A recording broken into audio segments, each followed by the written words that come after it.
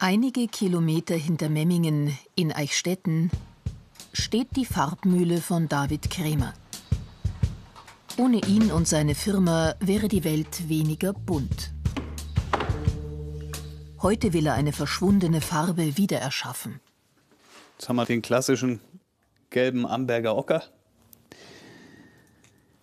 wiederentdeckt und hoffen, dass der auch wirklich so gut ist, wie er früher mal war.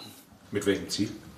Das Original Amberger Gelb äh, wieder anzubieten für die Restauratoren, für die Künstler, für die Maler ist das ja eine wichtige Farbe. Die Welt der Farben. Schier unendlich. Seine Firma bewahrt dieses Erbe der Menschheit. Malachitgrün. Zinnoberrot. Azuritblau.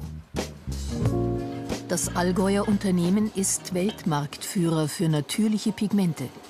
Die Suche ist nie zu Ende und die Herstellung nie einfach. Historische Farben, wenn man die wieder entdeckt, das gibt einem Lebensfreude. Da gibt es manchmal den Fall, dass wenn es zu fein wird, dass dann die Farbe verloren geht. Und transparentes Pulver äh, braucht ja niemand. Wird das das erhoffte Gelb? Vor drei Monaten im Hochsommer. David Kremer ist mit seinem Vater Georg und seinem Sohn Pablo richtig weit gefahren. Nur um jetzt vor diesem Haufen Dreck zu stehen. Das ist perfekt gleichmäßig, das Material. Es ist Ocker, eine Erdfarbe, ein natürliches Gemisch verschiedener Mineralien mit hohem Eisengehalt. Je mehr Eisenerz, desto dunkler.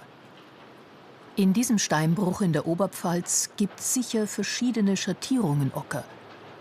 Beim Schaufeln erinnert sich David Kremer dann an seine Kindheit.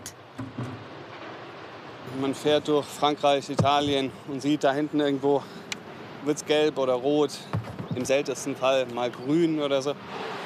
Dann macht man einen Abstecher, obwohl man eigentlich war gerade auf dem Weg zum Strand oder zum Pizzaessen. Und dann, jetzt müssen wir noch ganz kurz da hoch, das sieht super aus. Das hat der Papa immer gesagt. Das hat er immer gesagt und der ist meistens gefahren.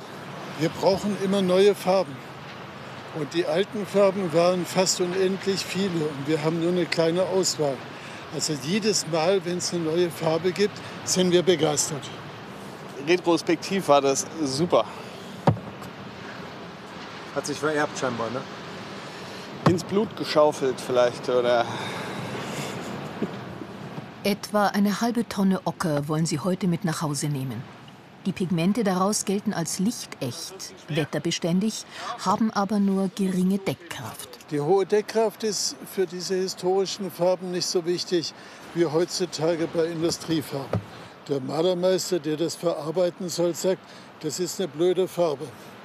Aber der sagen? Künstler, der Künstler, der das verarbeitet, sagt, das ist genau das, was ich brauche. Und da gibt es halt einen Unterschied von Handwerk zu Kunst.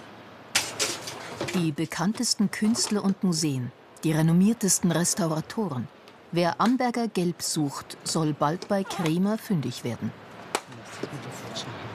wenn da dran riecht, die riecht einfach, die riecht schon gut. Die stinkt nicht. Was Ähm, riecht das? der Oberpfalz. Die Oberpfalz, das vermeintliche Armenhaus Bayerns. Aber nirgends im Freistaat ist so viel Eisenerz im Boden. Generationen haben daraus Farbe gewonnen. Bedeutende Gebäude von Sulzbach-Rosenberg strahlen bis heute in Oberpfälzer Ockertönen. In einem deutlich schmuckloseren Gebäude in Neukirchen gibt es sogar ein kleines Museum zum Ockerbergbau. Kreisheimatpfleger Walter Schramel hat es eingerichtet. Ernst Bickel ist Jahrzehnte unter Tage gewesen. Er war Farberdengräber, ein Fahrgrower. Ja, alles Handarbeit. Eine Schafe und, und, und das Haarl da, das war das ganze Werkzeug. Und der Herr so, der war Zusammenhalt. Was habe ich nicht gewusst, hat hat der andere gewusst. Und es hat da so, Sie waren stolz auf Fahrradroller zu ja, Die erste Farberde ist 1859 gefunden worden, beim Bau der Eisenbahn. So ist noch auch gesagt worden, wenn es runtergegangen ist, war es Wasser. Und wenn es in den Teig gegangen ist, war es Eisenocker. Oder Scharlatane gegeben, wenn du es jetzt zusammendruckt hast, dann ist es wohl gegangen. Und wenn es so ist, es in Teig gegangen. Das ist nicht echt gewesen. Aber ein richtiger hat so gehalten und dann hat das der Hand zu, dann hat sich das da rein, das hat sich das draus. Und so hat das funktioniert. Die letzte Farberdengrube hat die Familie Hauenstein bis 1971 betrieben. Die Fotos hat Walter Schramel gemacht, als er als junger Mann in die Grube eingestiegen ist. Alles war nass, glitschig, ja. Und dann ist man unten angekommen, das hat also schon ja, gemieft sozusagen, das war Grabesruhe und das, äh, die ganze Atmosphäre war natürlich schon etwas beklemmend. Ja, das ist, wie soll ich sagen, das war Gewohnheitssache, das hat man immer weiter gewusst. Die Qualitätskontrolle bei Farberde ist übrigens ganz einfach. Wenn der Farb einen Grünstich gehabt hat, dann hat man es nicht brauchen können. Dann war es minderwertig. Und da hat man, da, hat man das festgestellt auf der Hand. Da hast du die ganzen Hände hast du das schmiert gehabt. Das ist ein gescheiter. das ist ein guter. Ist ja auch aus der Gegend. Wo heute natürlich niemand mehr professionell Farberde abbaut. Aber wer will, findet sie noch fast überall, sagt Walter Schramel und sticht in einem Wald nördlich von Neukirchen in den Boden.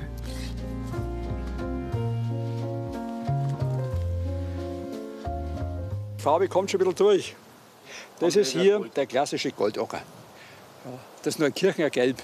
Neukirchener Gelb heißt Ja, es war ein Qualitätsbegriff. Wir sagen nicht Gold, das ist ja etwas überheblich, sondern Neukirchener Gelb, ganz bescheiden. So sind sie eben, die Oberpfälzer.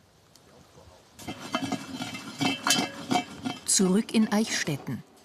Was hält David Kremer vom getrockneten Amberger Ocker? Relativ weich, schmiert nicht, das ist auch gut.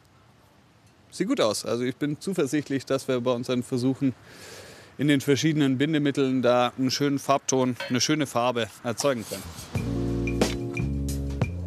Unzählige Erdfarben, darunter allein Dutzende Ockertöne aus aller Herrenländer hat David Kremer schon im Sortiment. Wenn der Amberger Ocker jetzt nichts taugt, ist das doch unerheblich. Aber die sind alle einzigartig. Jeder einzelne ist anders. Und das macht die Besonderheit eigentlich aus. Das Pigment testet jetzt Künstlerin Birgit Saupe, die früher an der Hochschule Aachen gelehrt hat. Jetzt lebt sie im Allgäu und leitet das Farblabor bei Kremer. Man kriegt ein Gefühl dafür ganz schnell, ob die Aufstriche funktionieren und ob die was für eine Konsistenz die richtige ist, wie ist das Sättigungsverhältnis. Und am Ende kann man es natürlich auch ganz leicht überprüfen, wenn man den Aufstrich hat, ob der abriebfest ist. Dazu rührt sie den feinen Ocker mit unterschiedlichen Bindemitteln an. Zuerst mit Walnussöl. Der Worst Case wäre, dass das Material sich einfach nicht mit dem Öl verträgt. Dann klumpt das oder es wird total flüssig. Man kriegt das einfach nicht zu einer pastösen Masse, das gibt es auch. Also es wird nicht deckend werden. Ähm, das ist bei den meisten Erdfarben aber eigentlich der Fall. Und das will der Maler am Schluss dann auch, also der Kunstmaler. Na, man hört noch ein bisschen Knirschen. Mhm. Das heißt, so, so fein ist es noch nicht. Doch zu viel Sand drin? Mit dem Glasläufer arbeitet die Künstlerin das Pigment noch besser ins Öl ein. Das wird schon fester, oder? Ja, und man wird es auch, der, der, das, der Kirschton wird weicher. Das Pigment verträgt sich also mit dem Öl. Aber kommt auf Papier auch die gewünschte Farbe heraus? Amberger Gelb? Ach so leicht grünlich, oder? Ja, irgendwie Wie es so schon. rauskommt. Mhm. Ja, schön.